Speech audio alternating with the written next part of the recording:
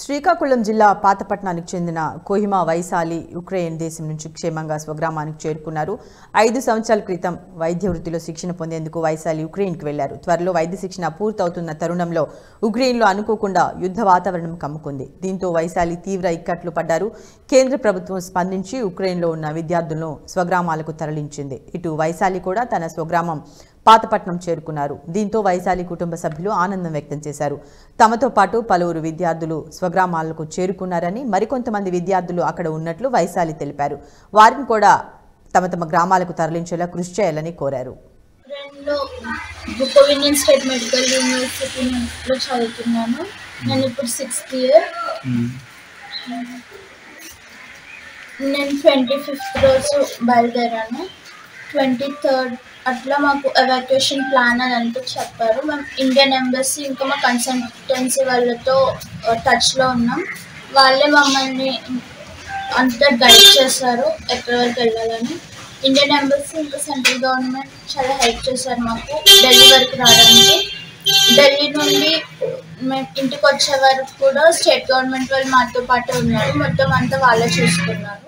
ఇంకొక three four మంత్స్లో నాకు కంప్లీట్ అయిపోతుంది నేను నా ఎర్లీ అవర్స్ ఫోర్కి మనకి ఢిల్లీ చూసి ఢిల్లీ చేరిన తర్వాత అప్పుడు మళ్ళీ ఫోన్ చేసింది పాప. మేము ఆల్రెడీ ఢిల్లీ చేరిపోయాము ఏపీ భవన్లో మాకు పెట్టారు.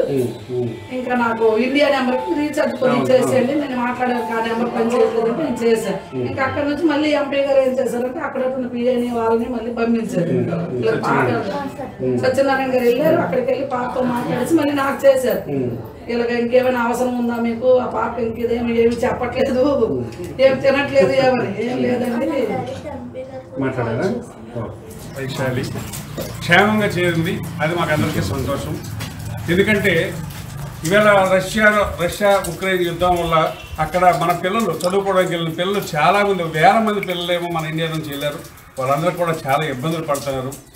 మరి ముందుగా వీళ్ళకి మనోధైర్యాన్ని కల్పించినటువంటి చంద్రబాబు నాయుడుకి మీ ద్వారా నేను కృతజ్ఞత తెలియజేస్తున్నాను. పాత పట్టణంలో మరి ఉన్నటువంటి ఒక పాప ఉక్రెయిన్లో ఇరుక్కుంటే ఆ- ఆ- పా పిల్లలతో మాట్లాడి ఆ పిల్లలకేమో మనోధైర్యం కల్పించారు చంద్రబాబు నాయుడు గారు. అలాగే రామ్మోహన్ నాయుడు గారు వాళ్ళ తల్లిగారితో మాట్లాడి ఈ పర్టికులర్స్ తీసుకొని వెంటనే ఆయన విదేశాంగ మంత్రితో మాట్లాడి మరి ఎంపీ చేయవలసిన కార్యక్రమాన్ని ఆయన సక్రమంగా చేశామని నేను అనుకుంటున్నాను. ఎందుకంటే ఇక్కడ తెలియదు తల్లిదండ్రులకు కూడా ఏం చేయాలో తెలియని పరిస్థితి మన గ్రామాల్లో.